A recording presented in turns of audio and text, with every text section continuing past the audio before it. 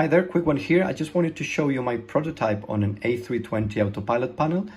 Uh, yeah, so here it is. Um, it's not pretty and I know it looks rough, uh, but it will have to make do for now. This is just a prototype to test Flight custom events and so on and so forth.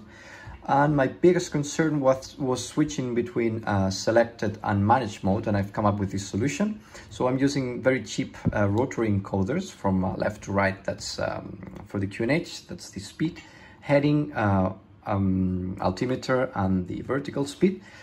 And to switch between selected and managed mode, I'm using these uh, switches, these two-way switches. When you push it upwards, it brings you to managed mode. When you uh, push it down, it brings you to um, selected mode.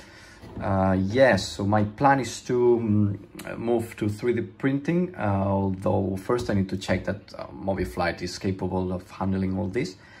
Uh, so yes, stay tuned for more videos about this uh, project. Uh, if you have any question or, or, specific videos that you would like me to make, please drop it in comments below.